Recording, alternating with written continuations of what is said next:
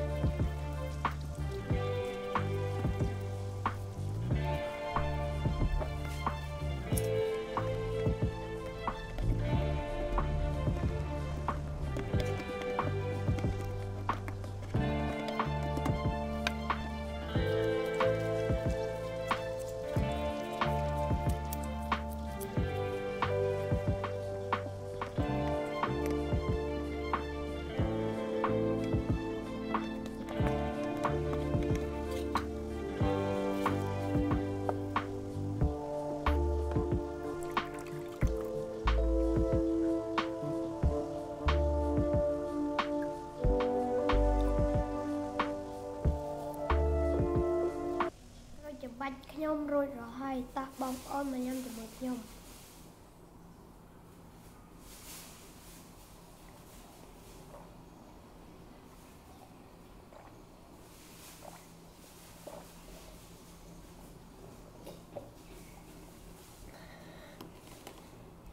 ឆ្ងាញ់ណាស់បងប្អូនអាចធ្វើនៅផ្ទះបាន